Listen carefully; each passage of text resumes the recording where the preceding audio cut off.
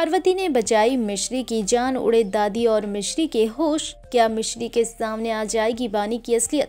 जी हाँ कल टीवी के मोस्ट पॉपुलर शो मिश्री के एपिसोड में आप देखेंगे कि कैसे एक तरफ़, जहाँ मिश्री फिर से राघव के घर में कदम रखेंगी तो वही दादाजी मिश्री से अपने परिवार की गलतियों के लिए माफ़ी मांगते नज़र आएँगे।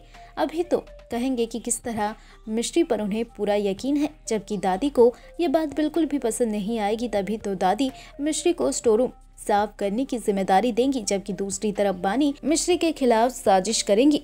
जिस स्टोर रूम को साफ़ करेंगी मिश्री, अभी तो उसी स्टोर रूम में लगे पंखे के स्क्रू को ढीला कर देंगी। ऐसे में जैसे ही मिश्री दादी और पार्वती को दिखाने के लिए लाएँगी, वैसे ही मिश्री के सर में पंखा गिरने ही वाला होगा, कि तभी पार्वती मिश्री को तो बचा लेंगी।